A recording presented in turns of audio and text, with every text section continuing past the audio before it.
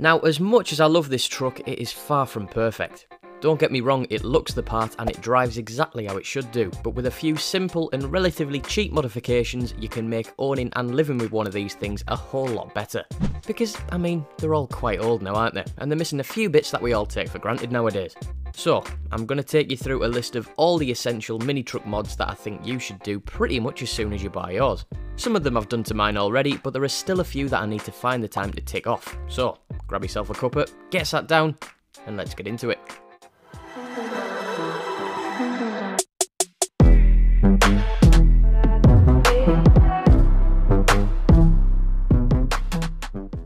Now these trucks, or vans, because you can do 90% of the mods on this list to those two, are getting on a bit now, aren't they?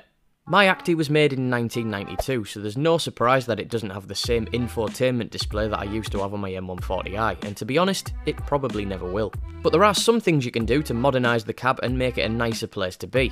There are also a few mods to talk about that just make your life easier, and you'll wonder why Honda never fitted them in the first place. I'm not going to be covering the Mighty Car Mods Boys Wreck It anagram in this video, I'm just sticking to the small stuff. But if you do want to find out my wheel specs, then go check out that video because I've made a dedicated one just for that.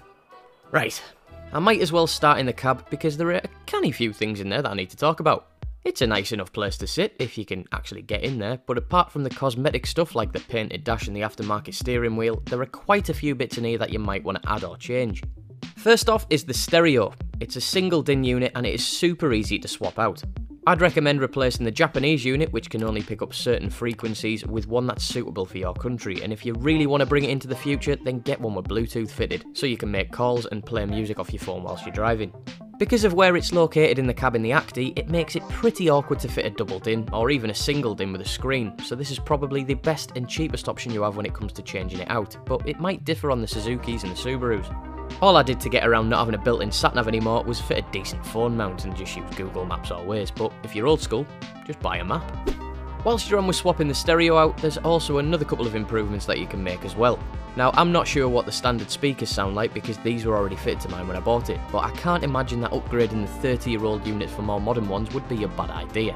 And another mod which I haven't actually got around to doing yet would be sound deadening.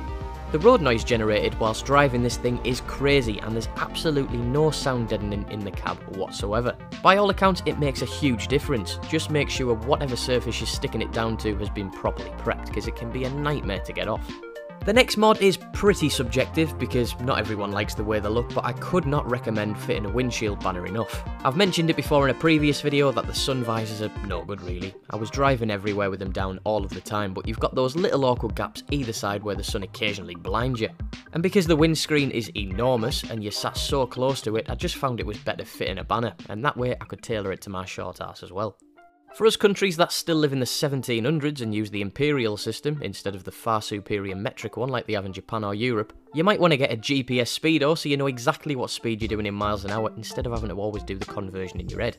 This is one of the reasons that I've made this video because every time I post a picture of the interior of this truck, there's usually about 4 or 5 people asking where I bought it from.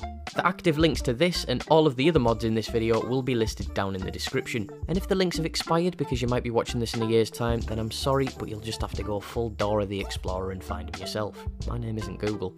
There is a hardline kit which means I can wire this into the back of the stereo, which I haven't done yet for reasons, but it also plugs into the 12 volt socket too.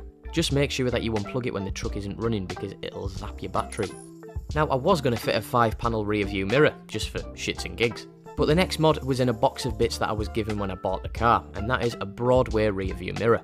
Broadway is just a brand that you might want to search for. Essentially, what it does is give you a boost in your field of view so you literally have zero blind spots. It's just a panoramic setting for a mirror really, and it only costs the same as a few beers so it's a must have too. The last little mod that you'll want for inside of the cab is this 3D printed cup holder. Well, maybe not this exact one if you live in the UK. My guess is that this was designed by an American, and as we all know, they haven't invented portion control over there yet, so even the largest of McDonald's cups in the UK doesn't fit. Once I've sorted that out though, it'll be a game changer, because trying to drive with a drink balanced on your head is not easy at all. Now the bed behind the cab is amazing. You can take the sides completely off if you want to, but if you want to leave the sides on, then you should definitely invest in a cargo net to hook over whatever you're storing in the back. It's ideal for people like me who are doing up a house and taking stuff to the tip all the time, or if you just want to make it a bit trickier for someone to steal your bike at the lights because they've got to faff around hooking everywhere. Speaking of unhooking, if you don't want stuff rolling around loose in the bed, you can buy these little brackets from Odd Devices. They've been designed so you can fit pretty much any size hook or carabiner you need to hold something down with through them. Absolutely ideal if you're transporting something bulky behind you that you don't want flying around. All you need is a decent set of ratchet straps and you could set up your own removal company. They also sell the tailgate chains so you can drop the tailgate down 90 degrees if you want to. Perfect for a truck like mine which has an aftermarket exhaust so it stops the tailgate from clattering it when you lower it down. Whilst I'm on about the bed, you should definitely coat it in a scratch resistant paint. Because I mean, well, why would you want to destroy it when it's literally the easiest thing to do? Raptor paint is probably the best option. Mine already had this stuff coated on. I'm not sure what it is, but it works. Not gonna lie though, I'd rather have the Raptor gear on there, so that might be a video in the future. I haven't got around to this yet either, mainly because I haven't found one that's a direct fit and I'm too lazy to fabricate anything.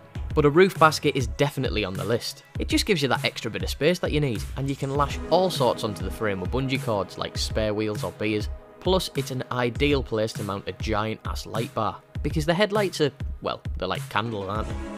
Wind deflectors. They do what they say on the tin. You've seen them before, you know what they do. They cost a fortune to import, if you can find any. And if anyone has any that they'd like to send to me, I'd be very, very grateful because I can't for the life of me find any on Yahoo Auctions. Thank you very much. If you're smart and you really want to bring the Acty into the 21st century, then how about fitting a universal central locking kit? It's not necessarily an essential mod like the title of the video suggests, but it definitely would modernise the feel of the truck and it doesn't seem that tricky to do, especially if you know what you're doing with electrics to begin with. Personally, I quite like using the key, but that might be something that you prefer to have on yours. Of course, it goes without saying that before doing any of these, you should really take care of it and make sure it's had a thorough service.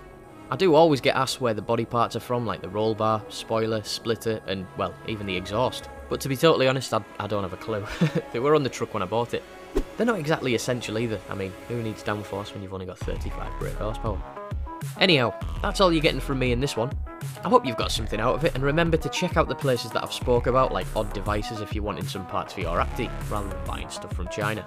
It's nice supporting little companies rather than child labour, innit? As always, thanks for watching, and I'll catch you in the next one. Bye!